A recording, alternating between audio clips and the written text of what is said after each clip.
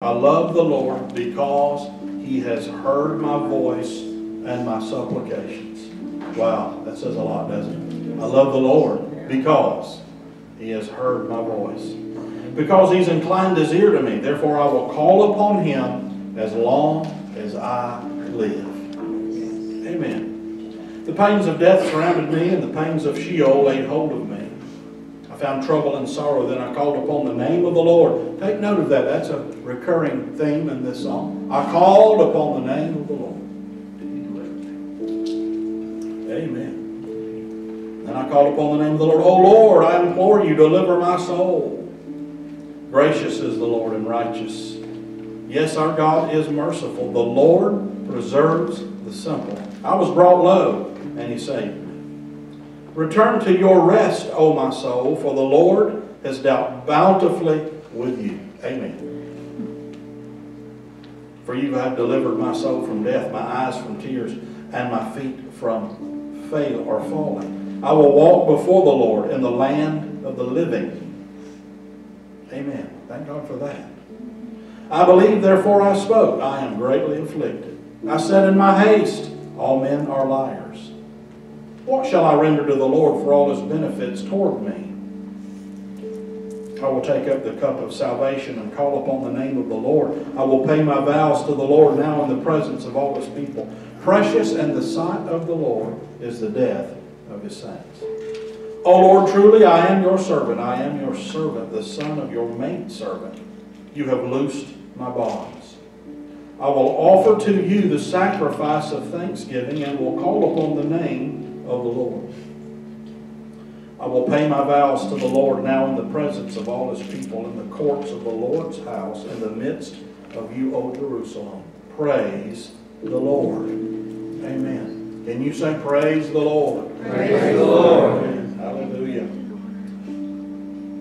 This past week, Anthony and I were in a minister's retreat, and of course, uh, when, when my routine gets messed up, I guess that comes with age, maybe.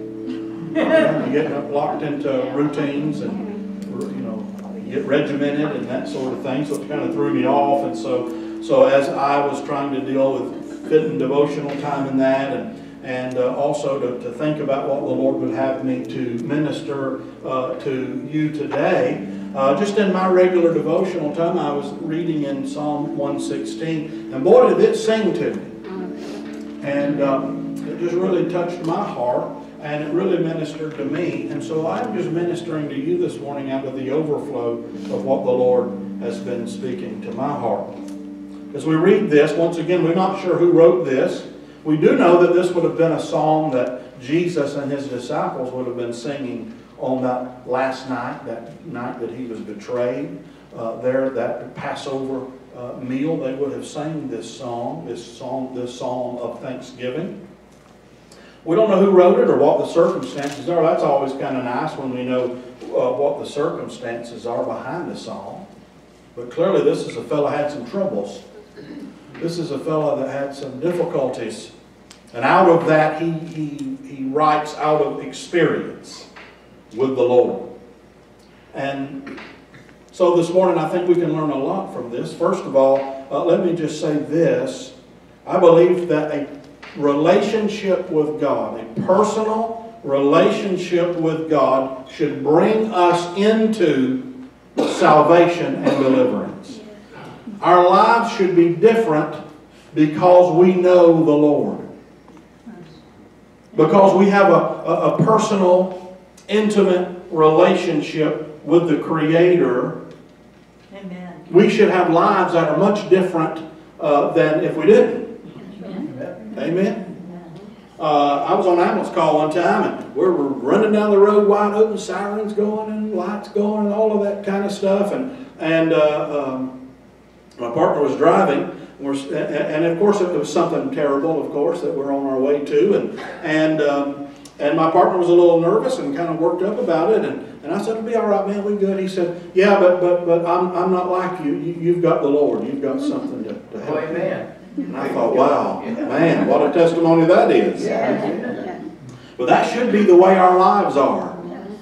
We should be different, and, and people should know that we're different. Now, we're not going to be perfect, certainly. But Our lives should be lives marked by peace and joy and contentment. We should have lives that are marked by our relationship with the Lord. We are people who call upon the name of the Lord. Amen. Wonderful. You ever thought about that? How many times we see that in the Scripture? Yes. Calling on the name of the Lord. And so this morning, that's what I want to talk to you about. Name is very important, of course, in Scripture. Uh, a person's name meant a lot. They would give people names and prophetically give them names. Sometimes it wasn't very nice names. Uh, but usually they would give, give somebody a name that was prophetic. And that name represented them. With God, it's the same way. The name of God represents Him. When we talk about the name of God, we're talking about who He is, what, what He is. It, it's that, that name is, is a great name because He's great. Amen. Amen. We, we bless the name because we're blessing the one who has that name. So name was very important. It, it, it implies a, when we talk about calling on the name of the Lord, what we're saying is we have a personal relationship with this one that we're calling on. The one we're speaking to. The one we're crying out to. We know him. Back home, we have this. To make this this statement sometimes. Somebody say, "Well, oh Lord," you know, people just say, "Oh Lord," or "Oh my God," or something, and and we would say, "Well, you need to call on somebody you know." you know, being smart and mean at the same time, and also indicating we believe them to be heathens. But but when we say we're calling on the name of the Lord, we're saying we know this, this, this God. We know Him. We have a personal relationship. We have an understanding of Him. Yes. Amen? We're on a first name basis. You ever heard that expression? We're on a, we're on a, a, a first name uh, base, basis with the Lord. And that's something we need to, we need to really learn to uh, appreciate this morning. That we know the Lord. When God called Moses at the burning bush, Moses said, Well, who, do, who, who am I supposed to tell these people has sent me? What is your name? Isn't that what he asked him? What's your name? And he said, My name is I am that I am. So you go tell them that the I am that I am has sent you. Amen. Isn't that something?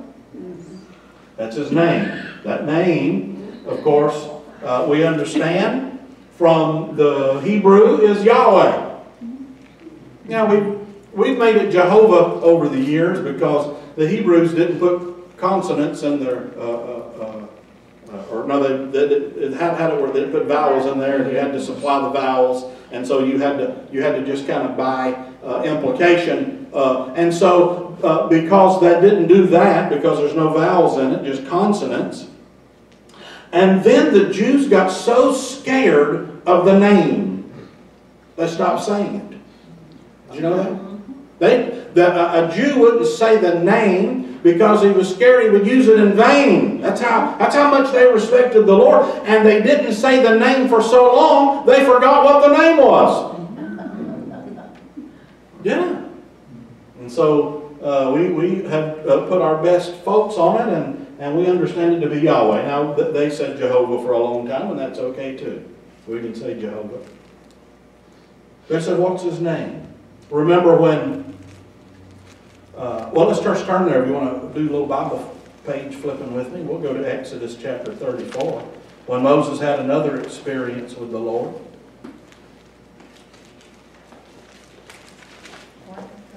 Exodus 34. And this is a this is a, another example of God revealing Himself. Remember, I told you last week the only revelation that'll really matter in your life, in a human life, is a revelation that God gives. Amen. When we try to come up with our understanding of who God is, it's always messed up. So we need God to reveal Himself, and here He does it in an amazing way. We can start reading here, I guess, about verse, oh, let's see here. On, uh, Exodus 34, verse 5. Remember the, uh, Moses is on the mountain here. He's gone up there to receive those Ten Commandments. And it says, Now the Lord descended in the cloud and stood with him there and proclaimed the name of the Lord. He's saying, Moses, I'm in a personal relationship with you. And I want you to proclaim my name. I want you to tell people who, are, who I am. And, and he goes on to, to give a, a, a very good description of who he is. And the Lord passed before him and proclaimed, The Lord, or Yahweh, the Lord God, merciful and gracious, long suffering and abounding in goodness and truth Yes. keeping mercy for thousands, forgiving iniquity and transgression and sin. By no means clearing the guilty, visiting the iniquity of the fathers upon the children and the children's children to the third and fourth generation. So Moses made haste and bowed his head toward the earth and worshiped. Amen. What he was getting, what Moses was getting here, is some fresh revelation of who he is. And I like that. He's merciful and he's gracious. Hang on to that word gracious with me for a minute. Gracious. Merciful and gracious. Long suffering and abounding in goodness and truth. He's overflowing in goodness and truth. Amen. Now we need a we need an accurate revelation of who God is. We need an accurate understanding of who God is. How many knows the world's got a messed up understanding of God? Uh, listen, religious people often have a messed up understanding of God. When I say religious, I mean, you know, where it's gone into some negative ways. Okay, is that all right? Y'all understand that when I say religious? Sometimes people see God as, as some sort of, of uh, you know, real stern, kind of austere, sort of, uh, you know, judge kind of God. And, and so they're, they're so scared of him, they really won't have a lot to do with him, other than to fuss at other people and tell them they're going to hell. Yeah, religion makes people mean. Y'all seen that? Yeah. And so we, we, we, we, need, to, we need to get a, a good uh, uh, understanding of who God is because knowing who God is, knowing the name of God will affect your response to God. You know why a lot of people run from God? They don't understand Him. That's right. They don't know He's merciful and gracious and long-suffering and abounding in goodness and truth. They, they don't understand that. They don't know that. So they run from Him. They hide from Him. And so we need to we need to get a good understanding of who he is so that we can respond to him properly in a way that's going to benefit us. Amen. Yes. So we see some things here in Psalm 116 that helps us this morning to understand who God is.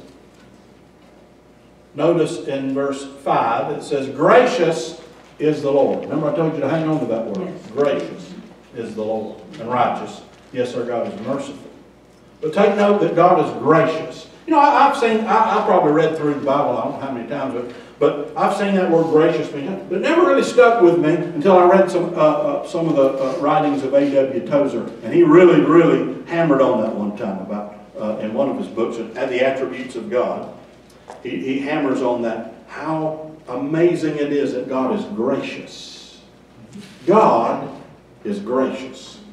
Now let's try to understand what that word means, and when we do, it helps us to understand a little bit more about who this God is. To be, if you were to look up gracious, or maybe listen to uh, Brother Webster as I say, to be gracious is to be polite, kind, and considerate. So if you were to just look at that word, uh, just look at it from the flesh, it means for somebody who's going to be, somebody who's polite, not rude, somebody who is kind, not hard, somebody who is considerate, who thinks about somebody else's needs or, or their feelings. Is to be, uh, to be gracious very often is going to be best manifested when somebody's in authority over someone else or in spite of how somebody might be treating you. It is to express grace undeserved favor towards someone else. Somebody that's rude, impatient, or inconsiderate is the opposite of that. We probably all know somebody like that, and, and you look in the mirror and you probably see them from time to time. Amen. This really came uh, uh, to me. This really came to me as I was uh, uh recently. Uh, so I, I, won't mention the circumstance because they might be watching and might figure out that I'm talking about them. It's nobody in this church, and it ain't my wife. Okay, so let's so don't think like that. But a person that got close to me, and they started. They quite frankly, they were annoying me. Anybody ever got annoyed by somebody else? Okay, all right. Let's let's let's be honest here. And, and so this person just kind of annoyed me and aggravated. He wouldn't stop talking, and he went on and on, and he kept going on and on. He was doing some other aggravating things too. And in my mind, I'm thinking, man, this, I gotta get away from this dude. This dude's about to drive me crazy. You know, and, and, and, you know, this guy was nothing, I mean, as far as I know, he was a believer, and, and, and, and there wasn't anything uh, that I could say was wrong necessarily he was doing, other than he was just getting, he was just pressing me. He was testing me. And so I, I, you know, in my mind, I'm thinking, well, I've got to, I got to get, I got to get shit of this guy. I got to move. I got to, I got to shut this guy off somehow, you know, from aggravating me and frustrating me. And the Lord spoke to me and He said, "Now, are you being gracious?" Okay? So, so I had to, you know, come into some practice here on what gracious means. And I had to, I had to take all of that aggravation and frustration and, and remove it from the way I was approaching this guy. Amen. And instead of kind of shunning him or shutting him out, I had to be, listen, uh, uh you know, uh, uh, to, to be true to what God had done in me. Listen, how many times do you think God get, gets aggravated at you? Don't you annoy God sometimes, probably, with the way you act and, and the way you, you know. So, so we aggravate and annoy Him. Aren't you glad He's gracious? And so I had a whole new approach to this guy. That, that frustration, aggravation, annoying, all of that just kind of melted away. And I kind of got a, an appreciation for this guy. I began to think about the good and positive things and what this guy was doing and saying and how he was acting. And, and, and you understand? Graciousness is showing grace. It, grace, being gracious is even when you've ever heard of a, a, a, a gracious loser.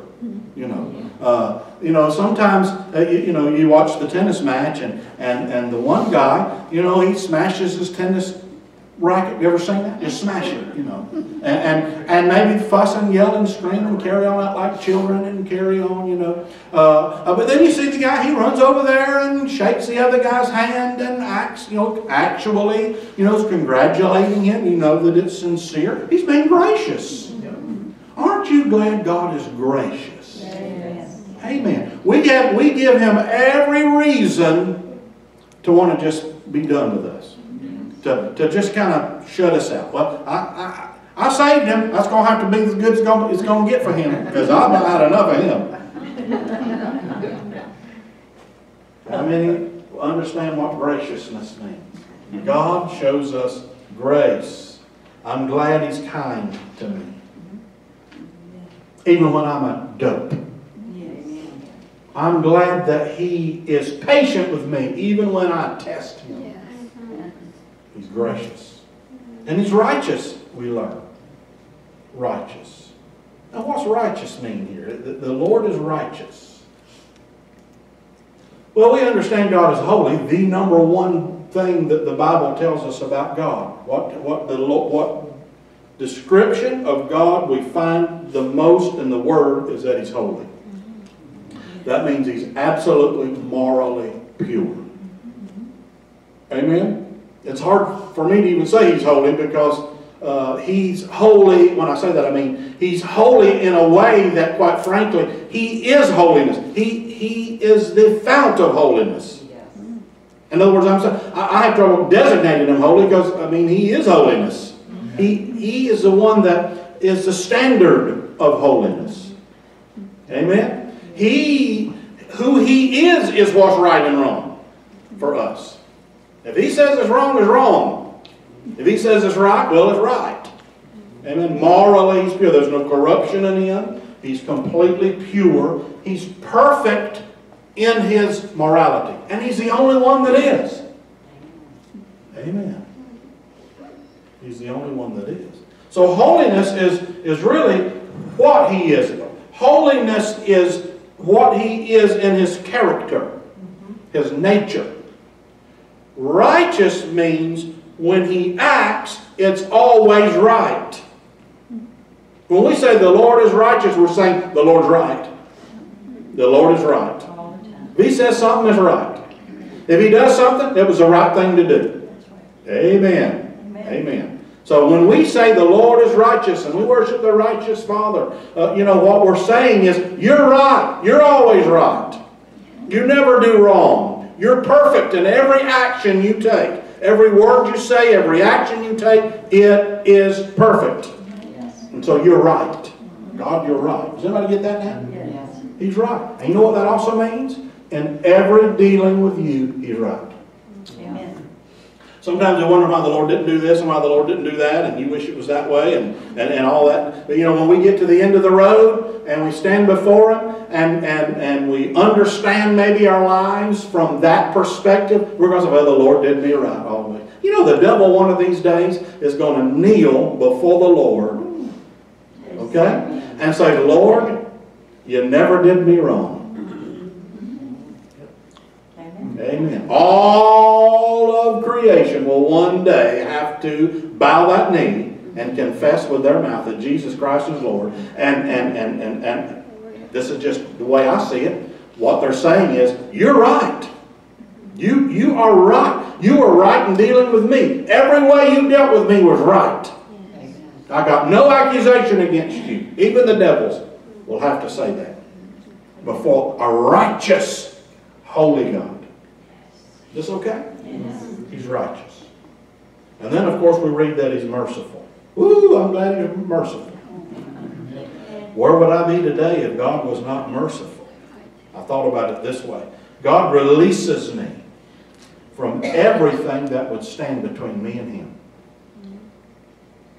He releases me. Everything that would condemn me, everything that would doom me to eternal judgment, he's washed away like it never happened. We've all done wrong.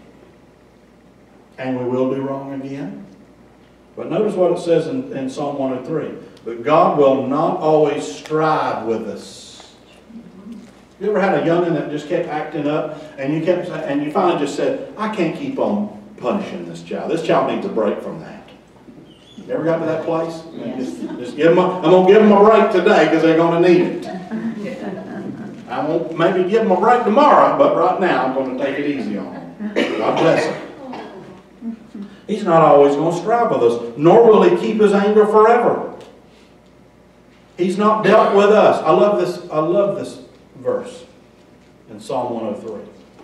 He has not dealt with us according to our sins, nor punished us according to our iniquities. Amen. Wow.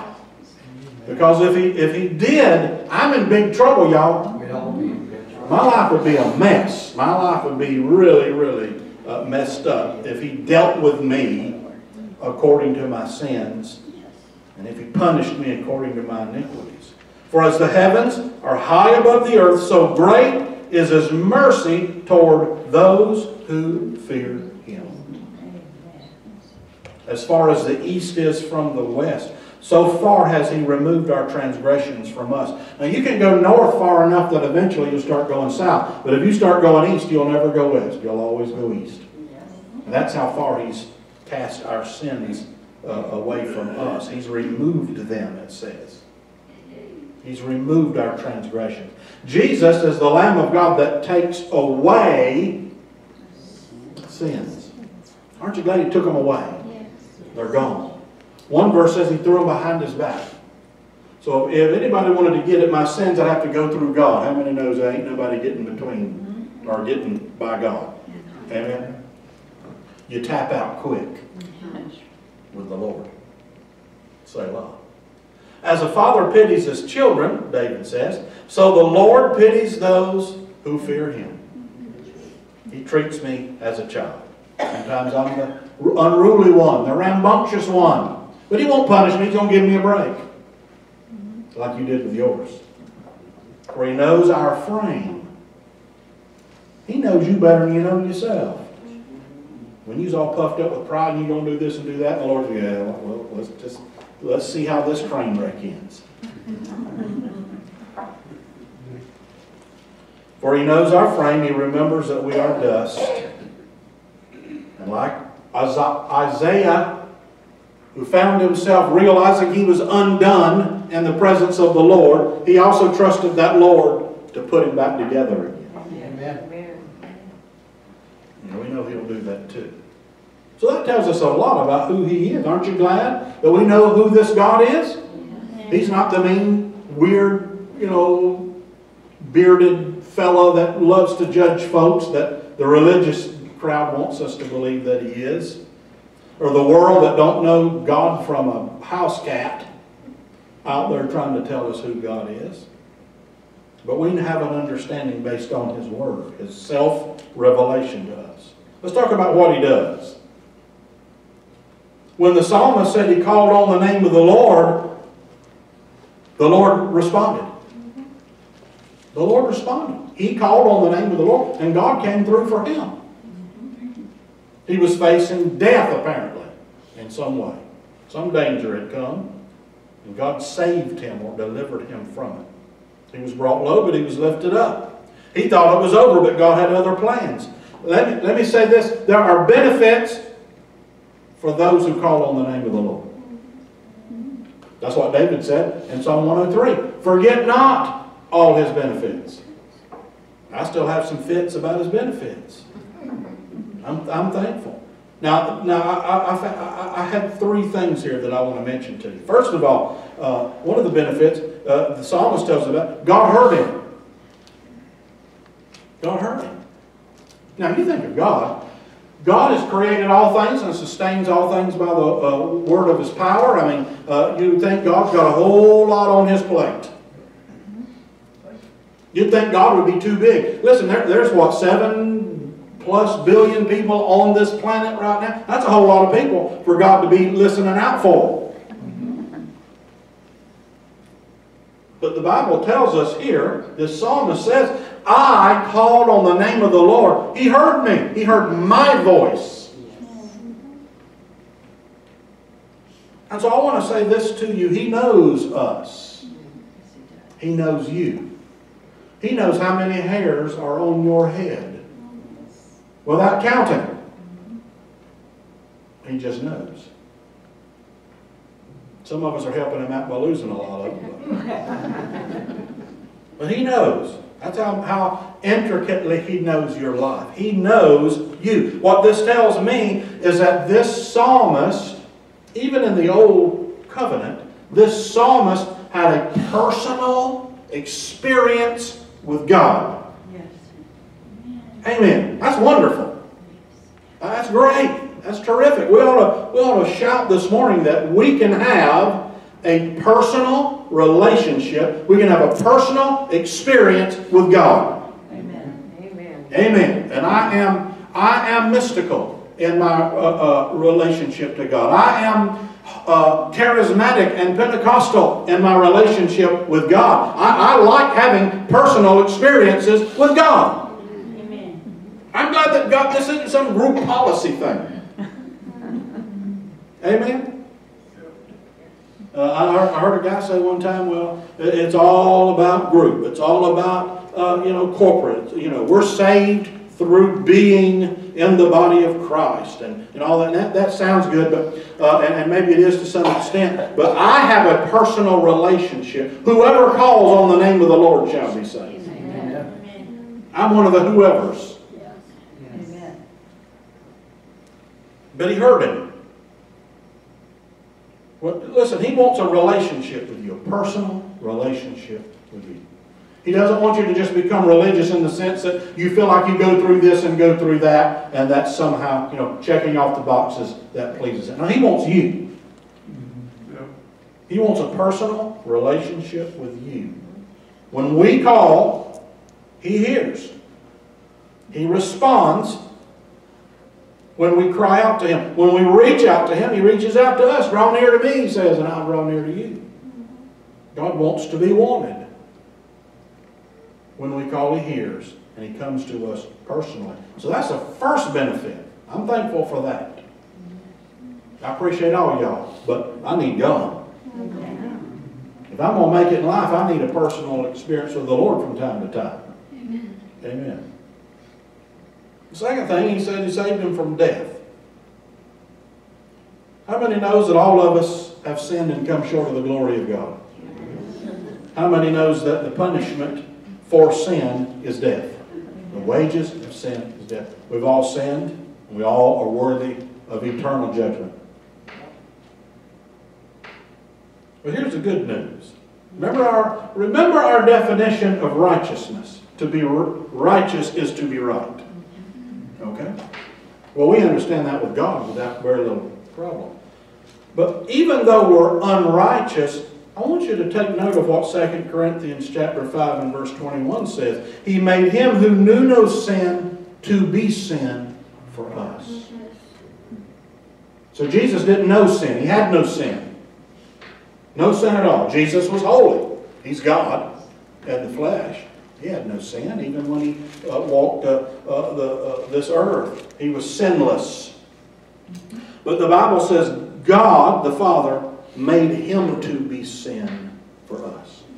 So when we see that picture of Christ on the cross in, in our minds, when we, when we understand and, and see that he's been beaten, his beard's been plucked out by the roots. He's had a, a crown of thorns thrust into his scalp, and, and, he's, and he's got all the stripes from the cat o' nine tails all over his body, his organs laid open to where they can be seen. I mean, the blood. I mean, it's a terrible picture, y'all, but it's a picture of sin.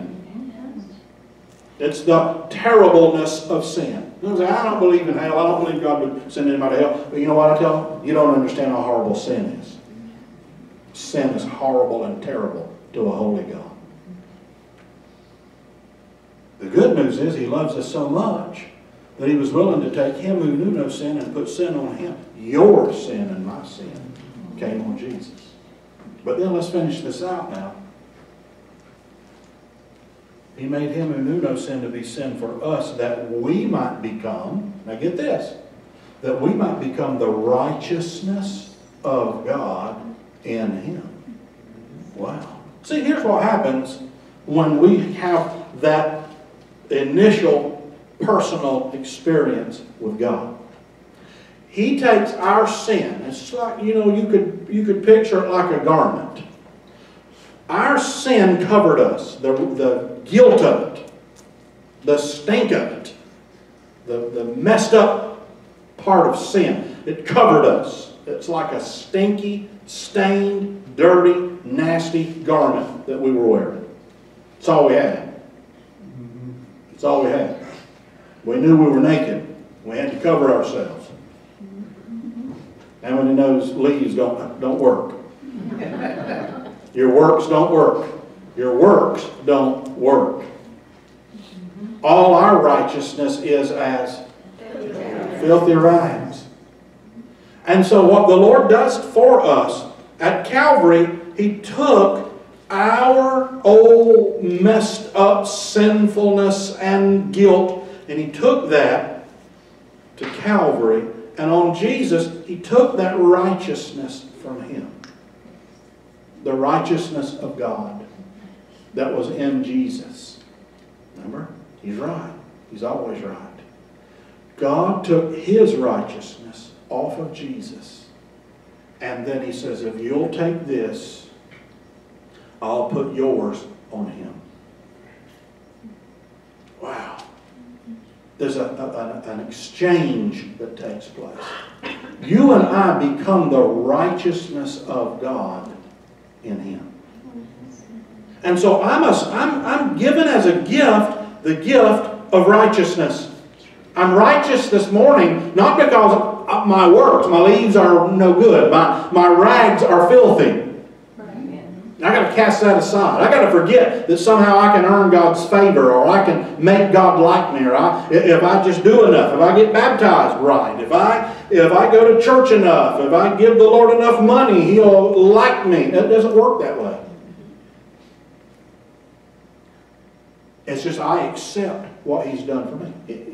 You know, maybe I'm jumping ahead here, but you know what we want to do? We want to take something to Him. We want to say, "Oh, I've got something for you, God. I've got something for you, Lord. I know you're really going to like this and love this, and, and this is going to be the thing that makes you really love me, Lord."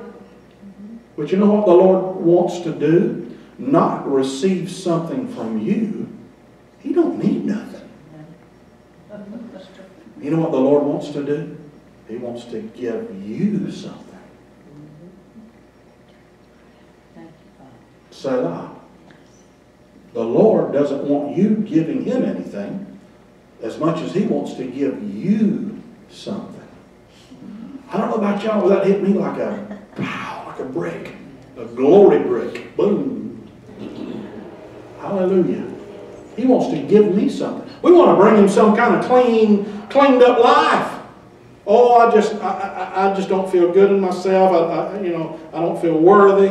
Uh, I don't feel deserving. I, I messed up yesterday, and I said something today I shouldn't have said. And, and, and you know what that does? It, it, it causes us to pull away from Him because we want to bring Him some kind of wonderful life that He's going to be greatly pleased with. You know what? Forget that. You're never going to be worthy, and you're never going to deserve anything from Him. We always fall short. But see, that don't matter. What matters is that if I, listen, you know what he wants you to do? Come boldly to the throne of grace so that you might receive what's the first thing you get when you get there? Mercy. Amen. So bring your messed up, broke up, disgusting life, if that's where you're at. Whatever is going on, always go before Him boldly because you know He's gracious and you know He's righteous and you know He's merciful. You go to that throne of grace to receive mercy and the grace you need in your life at that moment. What I need is holiness. I go to the Lord and say, Lord, well, it's a mess, and here it is, good and bad. I lay it at your feet. And then, once again, it's what He wants to give me that matters. And what He gives me is mercy and grace and help and holiness and strength and power. Hallelujah. He gives me that overcoming ability. Hallelujah. But if I run from Him, like a lot of people do, or we try to, oh, oh, oh, oh great and mighty God of creation, thou art great. And, you know, we try to hide it in, in religious stuff. Just be honest with Him. Just go before Him, bring it to Him, and say, Lord, I need something from you. Say, we want to give Him, but He wants to give us something. Does that help anybody? Yes. Amen. Quit trying to give something to Him He don't need. What He wants is, is to give to you. And He saves us from death. Hallelujah. Everything that, everything that would condemn us has been removed. It's been washed away. And He's granted to us this amazing righteousness. I can say I am righteous. You know, I, I might have used this, this illustration, I'm not sure, but remember when Joseph brought his two sons to J- uh, Jacob and, and he brought them to him for, for his blessing? I think it was of Ephraim and Manasseh. And I think Manasseh was the oldest, right? And I, I don't remember. Uh, and so he, he, Joseph positions them. You know, Jacob couldn't see good. Remember that story? And, and so he brings them up there and he, and he sets them there and, and, and he puts the oldest one on the right hand side. I want to say it was Manasseh. Puts him on the right side so that his right hand, which was the hand of blessing, so he would get the, the firstborn blessing. And he, he positions Ephraim on the other side. If I got this mixed up, y'all correct me I think you're right. later. I think it think is. you're right. So, all right. So, and he's got Ephraim on the left hand. So here's what Jacob does. He reverses it. And Joseph says, wait a minute now, you got this wrong. He says, no, I know what I'm doing. Yeah. All right, listen. You and I have been positioned before the Father. Yes. It's us and it's Jesus. Amen. And what Jesus deserves, we get. And what we deserve, Jesus gets. Amen? Mm-hmm. Isn't that wonderful? Amen. He's given to us a wonderful exchange of blessing. Right, let me move along here quickly. He deals with us bountifully. Aren't you glad he does that? He deals with us bountifully. And that's really the point I was making just now about how he gives to us, and it's not about what we give to him. It's what he wants to give to us. That's what makes the difference. So here's the question of this psalm that the psalmist asks, basically to himself. What shall I render to the Lord for all his benefits? What shall I render to the Lord? Well, I've got a few things here, four things I believe. One is to love him. God wants to be loved. That makes it very personal. Yes, he does. He wants a personal relationship with you. Really and truly, all of this is about you and Him. And He wants you to love Him. He doesn't want you to, to just, out of duty or obligation, have anything to do with Him, but He wants you to have a personal relationship with Him. That's the beauty of our salvation. And then the second thing is, He wants us to call upon Him. He wants communion with you. He wants to hear from you. Pour your heart out to the Lord. Talk to Him like you'd talk to another person. The thous and the these and the and you know and sometimes you know uh, we can get so caught up in praying we forget we're supposed to be talking to the Lord. He wants to hear your voice. He wants you to hear His voice.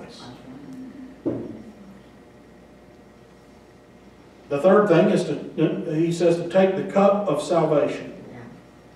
Take the cup of salvation. The ultimate revelation of the name of God is in Jesus Christ. In Jesus. Yahweh saves. Jesus is a contracted, shortened way of saying Yahweh is salvation. Yahweh, my Savior.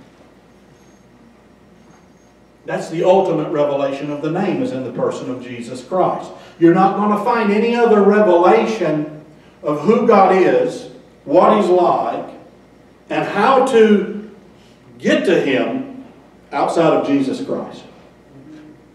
Amen. Any church you go to that tells you different, run.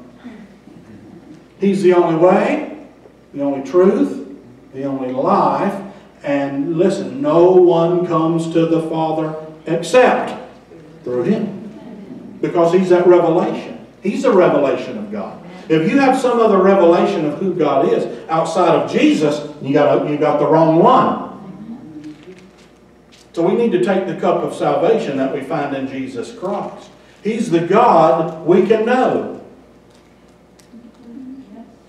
Knowing Jesus is eternal life. This is what the scripture tells us. And it shall be that everyone who calls on the name of the Lord shall be saved. For the same Lord is Lord of, of, of all and rich to all who call upon him. For whoever calls upon the name of the Lord shall be saved. And he talks about paying your vows. Did you read that? I think that's three times in that psalm. It talks about paying your vows. I'm glad we don't have to do that anymore. Now God wants you to be good to your word. Jesus said this, quit making all these vows about something and just let your yes be yes and your no be no. But here's what they would do. If they, if they were going to make a, a commitment, they'd make a vow. And you know, very often what they would do with God is they'd make a bargain with Him. If you'll do this, Lord, I'll do that. How many people, I've heard people say things like that. And how many of you have seen those people usually are the ones that don't do what they said they would do if God was going to do for them. I've seen that time after time. And when people tell me stuff like that, I had a fellow come one time, I went to high school with him. He called me, his wife had left him, and all, he was boohooing and carrying on. If I'll turn my life over to the Lord, will he give me my wife back? I said, I can't make that promise to you. I don't know that he'll give you one. It doesn't matter whether he gives you uh, your wife back or not. You need to get right with the Lord or you're going to hell, friend. Amen. And I can tell you this, my brother. Uh, everybody I've ever ever heard make a vow like that never followed up on what they said they did. So you, you're, you're better off. What's the Bible say? You're better off not making a vow than to make one and not do it. There's a price to pay for uh, disrespecting the Lord by not doing what you say. But here's the good news. We don't have to bargain with God. We just have to trust Him. Amen. I trust His Word. I trust what He's promised me.